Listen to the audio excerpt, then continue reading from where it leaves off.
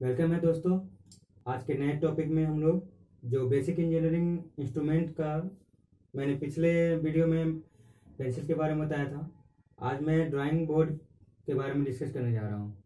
और उसके आगे मैं डिस्कस करूँगा आपका ड्राइंग बोर्ड पहले, उसके बाद टी स्क्वायर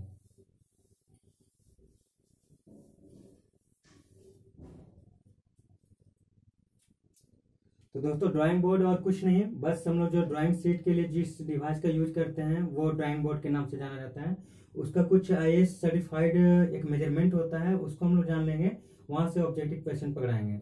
और दूसरी चीज़ की ड्राइंग बोर्ड का क्या क्या पार्ट्स होते हैं, वो जानेंगे, और वो क्यों यूज़ किया जाता है, ज़्यादातर उसमें और क्या डिवाइसेस यूज़ किए जाते हैं, उसके सारे पार्ट्स क्या होते हैं, ये सारे जान जाएँगे हम लोग तो उसके ऑब्जेक्टिव क्वेश्चन पकड़ लिए जाएँगे।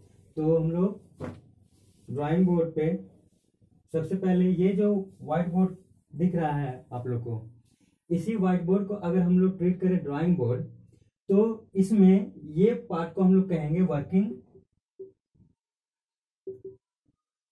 सरफेस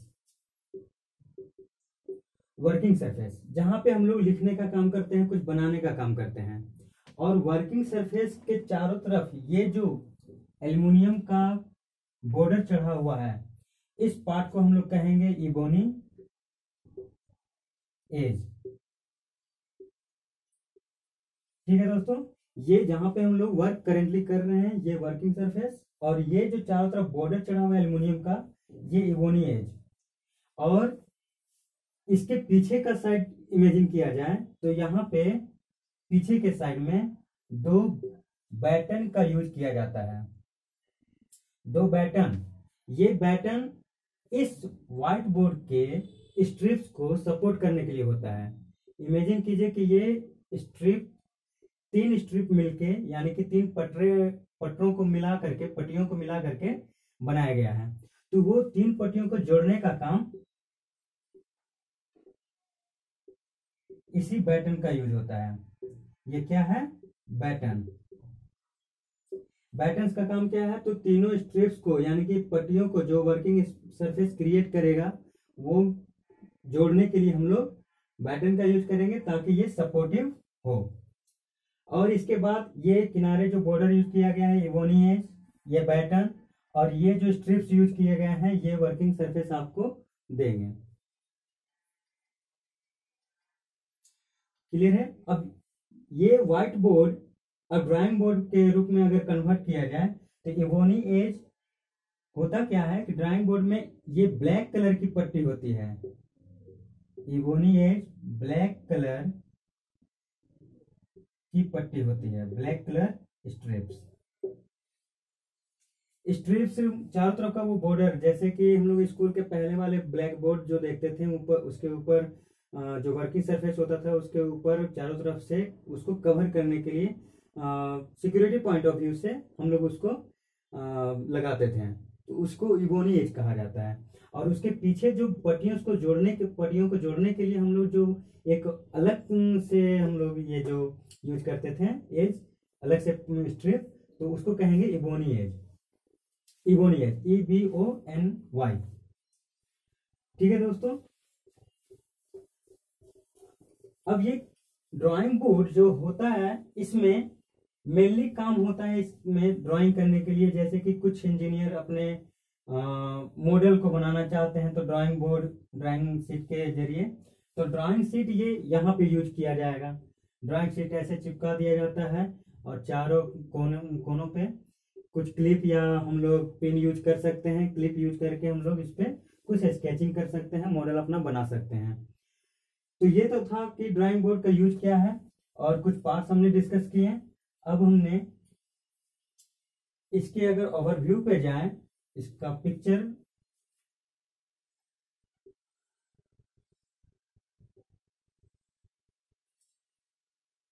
इसके अगर बैक साइड का पिक्चर पे जाएँ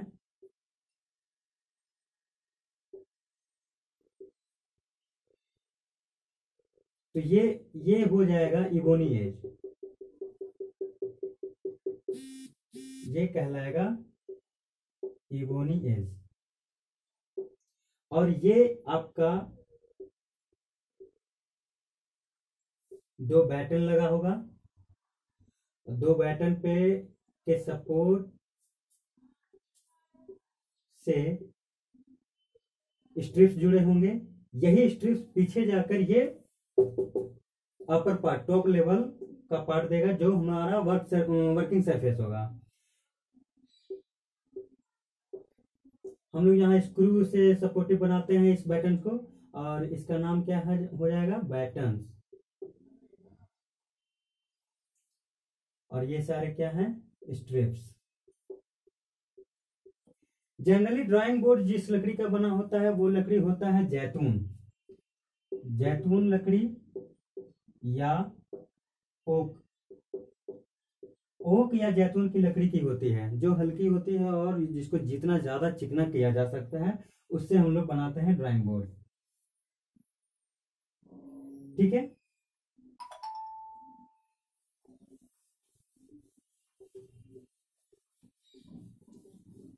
अगर ड्राइंग बोर्ड की कुछ मेज़रमेंट जो आई एस सर्टिफाइड है I S four four four 1989 से सर्टिफाइड है। वो मेज़रमेंट है D zero D one D two D three D zero में है आपका सारा एम mm में हम लेंगे। क्योंकि इंजीनियरिंग का जो स्केल होता है एम mm ही जनरली लिया जाता है। डी ज़ीरो में आता है आपका fifteen hundred one thousand twenty five L B H के फॉर्म में। ठीक है? एल बी और इसका विर्थ जो मोटापा होगा, वो आपका एच कहलाएगा। तो fifteen hundred one thousand twenty five and D one इस वन थाउज़ेंड को यहाँ पे रख दिया जाए और फिर आएगा सेवन हंड्रेड ट्वेंटी फाइव फिर इस सेवन सेवन हंड्रेड को यहाँ रख दीजिए। फिर यहाँ पे आएगा फाइव हंड्रेड ट्वेंटी फाइव फिर यहाँ पे फाइव हंड्रेड को रख दिया जाए और लास्ट मेज़रमेंट आता है 350 एंड एच इक्वल टू 25 यही आईएस यानी कि इंडियन स्टैंडर्ड पे ये मेजर्ड है. इंटरनेशनल स्टैंडर्ड सॉरी ये मेज़रमेंट सर्टिफाइड है. यहाँ से क्वेश्चन आपके बन सकते हैं कि ड्राइंग बोर्ड सेकेंड लेवल का क्या मेज़रमेंट हो सकता है? तो आपको चारों ऑप्शन में दिए रहेंगे. तो उसमें से आपको करेक्ट आंसर पे क्लिक करना होगा। या पूछ दिया जाएगा कि डी थ्री का जो एच पार्ट है वो कितना एम एम का होता है या एल पार्ट होता है वो कितना एम एम का होता है। इस तरह से आपके बहुत सारे क्वेश्चन अटेम्प्ट किए जा सकते हैं। और कॉमन सेंस की बात है कि अगर ड्राइंग बोर्ड है तो समतल होगा, उसका पृष्ठीय क्षेत्रफल रेक्टेंगुलर हो सकता है स्क्वायर रूप में भी हो सकता है। तो वो आपका कॉमन व्यू रहेगा। वहाँ से आप बना सकते हैं क्वेश्चन इबोनी एज का कलर होता है ब्लैक, ये याद रखिएगा, जो भी ड्राइंग बोर्ड आते हैं, उसका इबोनी एज ब्लैक कलर का होता है। और दूसरी चीज़, हम लोग ड्राइंग बोर्ड पे अगर हम लोग क्षैतिज रेखा, यानी कि हॉरिजॉन्टल लाइन अगर खींचना चाहते हैं तो उसके लिए हम लोग टी स्क्वायर का यूज़ करेंगे। टी स्क्वायर हम लोग नेक्स्ट वीडियो में देख नेक्स्ट वीडियो नहीं, हम इसी वीडियो में डील करेंगे कि टी स्क्वायर आगे क्या होता है। टी स्क्वायर से हम लोग जनरली हॉरिजेंटल लाइन खींच सकते हैं। अगर वर्टिकल लाइन को खींचना है तो उसके लिए हम लोग सेट स्क्वायर यूज़ करेंगे। ठीक है दोस्तों? टी स्क्वायर हॉरिजेंटल लाइन के लिए और सेट स्क्वायर हम लोग वर्टिकल लाइन के लिए।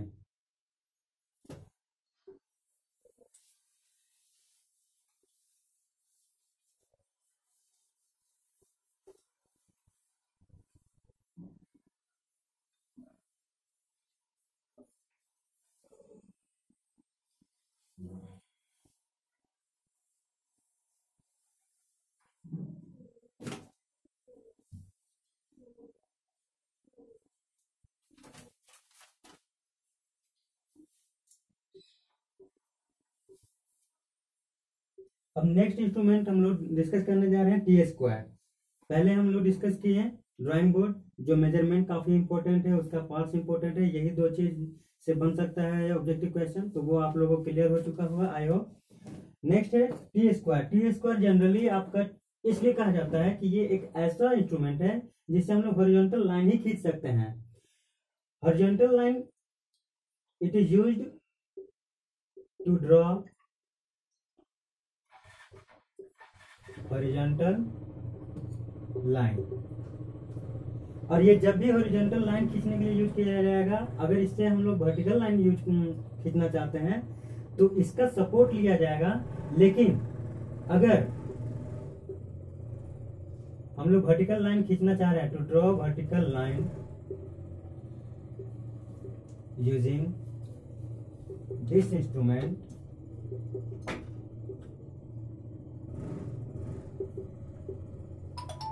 we use another instrument.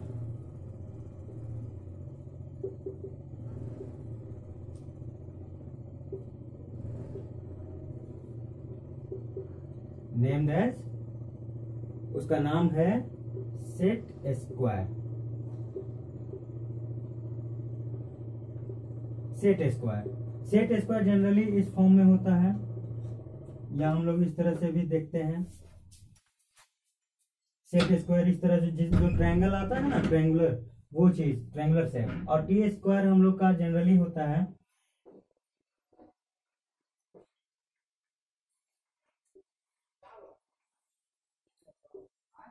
ये टी टी टाइप का आएगा. ये टी टाइप का है टी टाइप का है. तो ये इस पार्ट को हम लोग कहते हैं हैंड और इस पार्ट को कहते हैं ब्लेड अब ब्लेड और हैंड जनरली ये ब्लेड का जो लेंथ होगा, वो बोर्ड के लेंथ के ही बराबर होगा। यानी कि अगर बोर्ड अगर हम लोग का 100 एम mm है तो इसका भी लेंथ ब्लेड का 100 एम mm ही होगा। क्योंकि इससे हॉरिजॉन्टल लाइन मैक्सिमम हम लोग बोर्ड तक ही लेके जा सकते हैं। इसलिए हम लोग यूज़ करते हैं ब्लेड का लेंथ बोर्ड के लेंथ के बराबर। ठीक है दोस्तों तो अब इसके स्ट्रक्चर पे आते हैं। अच्छा इससे पहले हम लोग जाने कि इसका स्ट्रक्चर क्या होता है, उससे पहले हम लोग डिस्कस कर ले रहे हैं कि ये किस लकड़ी की बनी होती है। टी स्क्वायर जनरली इसको स्ट्रेंथ के तौर पे यूज़ किया जाता है तो स्ट्रांगनेस इसका आता है, सागवान की लकड़ी। सागवान सबसे ज़्यादा मज़बूत होता है, इसलिए इसको बनाया जाता है। ड्राइंग बोर्ड उससे अपेक्षा कमज़ोर लकड़ी की होती है। वो केवल चिकने पर प्लेन सरफेस के तौर पे उसको यूज़ किया जाता है। इसलिए ओक की लकड़ी या जैतून की लकड़ी सबसे ज़्यादा अच्छी होती है। और अगर मजबूती का देखा जाए तो मज़बूत के हिसाब से सागवान की लकड़ी महत्वपूर्ण होती है।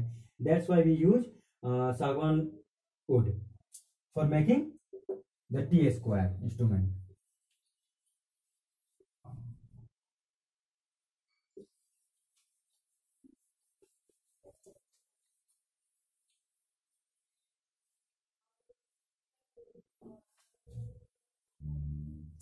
T square T shape में होता है, इसका दो भाग होते हैं हैंड एंड ब्लेड ब्लेड की लंबाई बोर्ड की लंबाई के बराबर होती है, और ये सबसे ज़्यादा प्रयोग सेट स्क्वायर के साथ होना आवश्यक होता है, नहीं तो इसका कोई यूज़ केवल हॉरिजॉन्टल लाइन के लिए हो पाएगा, वर्टिकल लाइन के लिए नहीं हो पाएगा।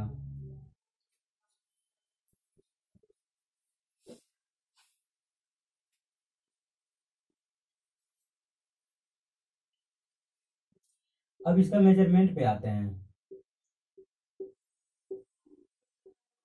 मेज़रमेंट जो सर्टिफाइड मेज़रमेंट है वो हम लोग का टी स्क्वायर के लिए है first second third fourth T zero T one T two and T three सबसे पहले है fifteen hundred plus minus ten फिर है one thousand plus minus ten फिर है seven hundred plus minus ten और फिर है five hundred plus minus ten ये सारे एम mm में स्केलिंग होंगे। इसका मतलब जो भी हमारा टी स्क्वायर का लेंथ होगा fifteen hundred one thousand seven hundred five hundred fifteen hundred upper level है तो ज़ीरो यानी कि T zero standard T one standard T two standard और टी थ्री स्टैंडर्ड का ये इंस्ट्रूमेंट आते हैं। जैसा आपका बोर्ड रहेगा, उस हिसाब से आपका टी स्क्वायर ही परचेज करना पड़ता है, उसी को यूज़ करना पड़ता है। ये थे measurement T zero T one T two T three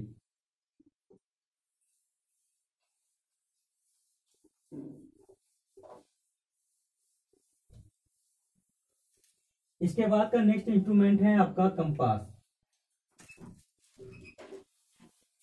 compass आप लोग क्लास सिक्स से ही यूज़ कर रहे होंगे कंपास कंपास का स्ट्रक्चर अगर हम लोग देखें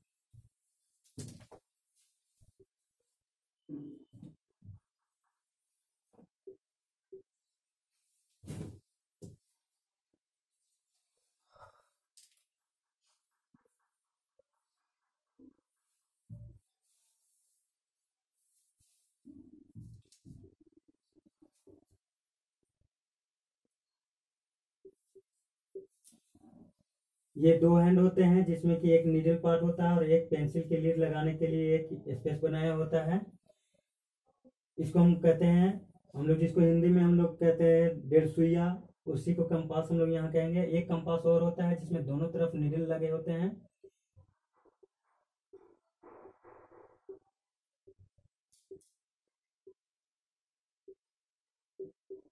दोनों तरफ़ नीडल होते हैं, ये फ़र्स्ट टाइप ये सेकेंड टाइप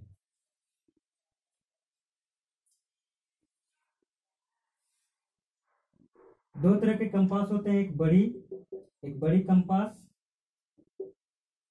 और एक छोटी कंपास।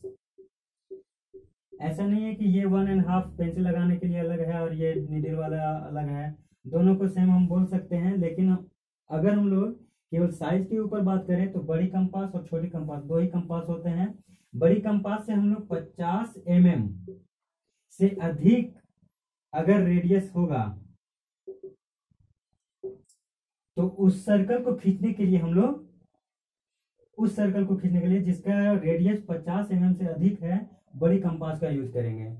और जिसका रेडियस 25 एम mm से लेकर 50 एम mm के बीच अगर है तो उसको हम लोग छोटी कंपास से यूज़ करके बनाएँगे। बस यही है डिफरेंस बड़ी और छोटी कंपास में। इसके अलावा और कुछ इसमें नहीं है।